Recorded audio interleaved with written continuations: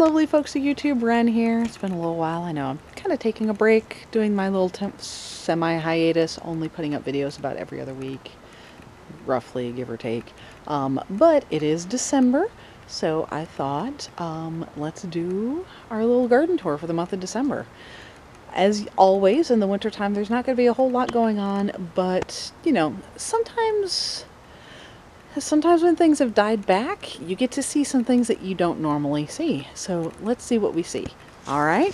So, um, as always, you can see my little catkins on my hazel here are looking really good. This is a nice little winter interest that it's got. Wintertime is the only time that you can really see all the, you know, contorting branches of this hazel. And of course the catkins are a nice little touch too. Um, I do want to show you, I opened up my cold frame and watered my plants in here. So you can see in my cold frame, I do have my lemon verbena and my four mandrakes, which are still doing okay. They're even putting up new growth, even though it is wintertime, because um, I have them in the cold frame. So they're sheltered from the worst of it. So I'm actually going to close this up now so I don't forget to close it later. Ooh, there we go. You can see my uh, my blueberry still has some leaves on it. This gets a nice autumn color to it. But uh, the raspberries are pretty much done. My garden beds, honestly, I just need to get in there and clean all that crap out of there. Put them away before it gets really super cold. But, you know, holidays are a hard time. it's a hard, hard to get stuff done out here, especially when it's really cold outside. You can see my moonflower is way, way, way, way dead. So, um, but a couple things that were interesting that I noticed when I was out here. So there are some weeds that are popping up because I never did get enough leaves on there to really cover up the, the ground. But here in the cool weather, there's a few things you can see. This is, I mean, kind of a weed, but also a happy accident. That is bloody sorrel. So that actually came from um, I have bloody sorrel planted over by my pond, and so the seeds must have gotten here from the uh, the compost. So that's just kind of popped up there. Um, eventually, I'll move it somewhere else, obviously, but I'm happy to see it now. There we go. There's a couple in here. Look, this is lettuce. That's lettuce that's popping up amongst the weeds. There's another one over here. So there was some lettuce that went to seed, and now it's growing here, even though it's December, because you know Virginia, you can do that you can see my parsley is actually doing pretty well. I actually come out here periodically and will just pick parsley from to add to certain dishes for my dinner. Um, and these uh, these here, my little surprise plants did end up being broomcorn in the end. So I've left these out here in case the birds want it because I don't need any more broomcorn right now. This is another little surprise that popped up over here. This little guy right over here there's a lot down here, and then of course he's got this long stem right here. Uh, did not plant him here, um, but here he is. This is horehound.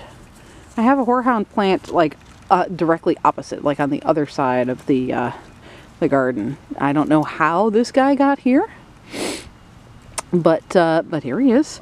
Uh, actually looking a little bit healthier than my other horehound plant, probably because this bed is way, way, way uh, better quality soil. Because this is where I try to grow my asparagus, but uh, yeah. So sometimes when things have died back, you can find some unexpected surprises like that. I do want to show you this as well. This little guy I planted earlier this year seems to be doing really well. That's my um, my nettle, my stinging nettle. I tried to plant it somewhere that's kind of more out of the way so that I wouldn't be getting stung all the time. I don't know if you're close enough that you can see things covered in needles. So I haven't got stung by it yet. Fingers crossed.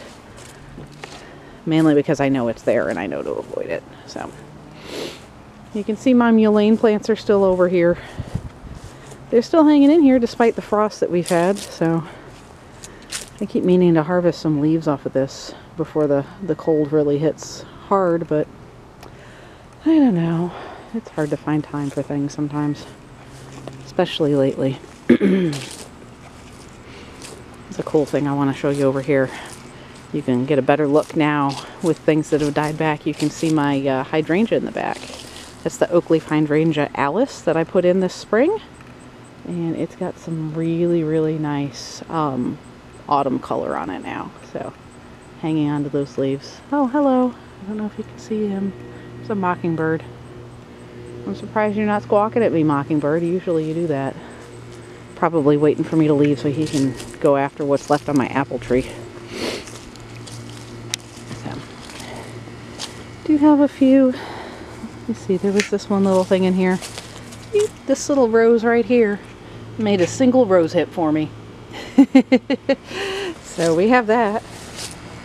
I need to put this chair away and get it out out where where it's not going to be exposed and back where it's protected in the shed soon. Lots of empty space, lots of weeds. I do have a couple of foxglove that are hanging in there, but most of the things are either already died back or in the process of dying back. You can see my elders lost most of its foliage already. There are some branches that are growing through my deck that I need to prune back so it doesn't do that. My lungwort is being a little stinker. Look at this thing. Why do you always bloom in January? It's too early. So,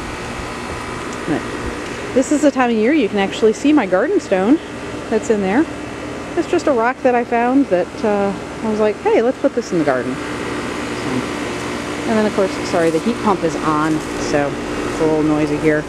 Pond is mostly retired for the year. I think the fish are still in there, but I haven't seen them for a while. I'm not entirely sure.